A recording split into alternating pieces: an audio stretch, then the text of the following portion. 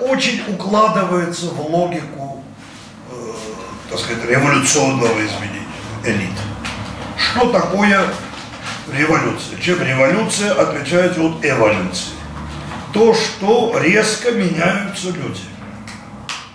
Если когда происходит эволюция, люди, ну, как я сказал, да, приходят, заканчивают там, я знаю, университет, начинают работать в 25 лет, постепенно поднимаются по служебной линии, и лет через 40 они достигают э, верхушки пирамиды. То тут люди меняются быстро.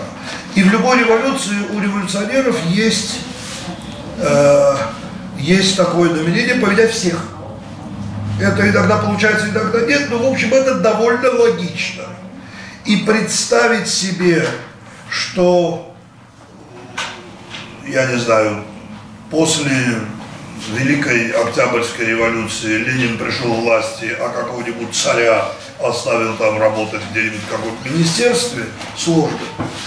Представить себе, что после французской э, революции Робеспьер с Маратом пришли к власти, а Людовика оставили где-нибудь там какой-нибудь губернии командовать, тоже сложно, да?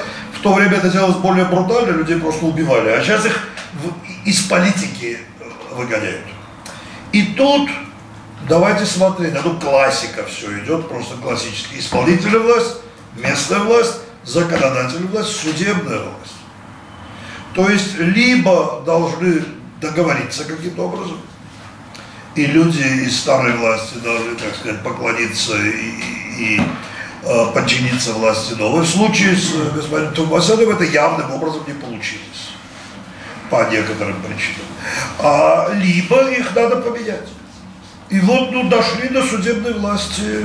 Тот процесс, который идет сейчас, я не говорю, что он э, хороший или плохо. Я говорю, что это ну, довольно понятно, что происходит. Да? То есть новые власти, они не хотят терпеть, а судебная власть это же одна из трех ветвей, четырех.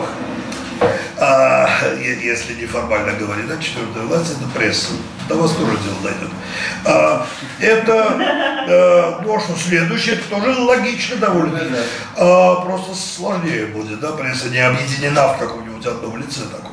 Э, соответственно, законодательная, э, исполнительная, законодательная власть, судебная власть эту позицию тоже, повторюсь, если ты меняешь элиту, то ее ну, надо взять.